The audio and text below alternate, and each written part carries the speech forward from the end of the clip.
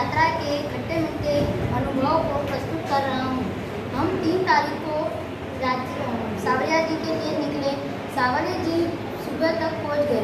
सुबह हमने सावरिया जी के दर्शन किए। वहाँ वहाँ से निकले और हल्दी घाटी के लिए निकले वहाँ से हम। और हल्दी घाटी में की मिट्टी बिल्कुल हल्दी जैसी दिखती थी। और हल्दी घाटी में मेला लगा हुआ था।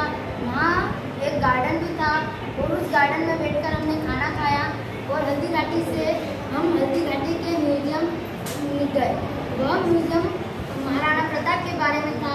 वहाँ पहुँच वहाँ से हम नारलाई के लिए निकले। नारलाई में शाम तक पहुँच गए। शाम होने के कारण नारलाई में अच्छे से आनंद नहीं ले पाए। फिर शाम तक खेतला जी के लिए निकले।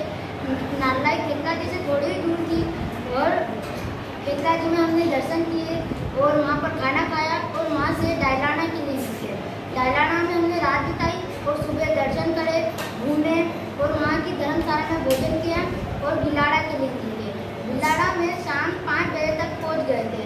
पाँच बजे छः बजे तक हम फ्रेश हो गए। फिर वहाँ पर घूमे और शाम तक आकर सो गए। रात, सुबह हम खेत के, खेत में घूमे, खेतों में घूमे और आठ बजे तक दीवान साहब आए तो हमने उनके साथ फ़ोटो खिंचवाई और वहाँ से हम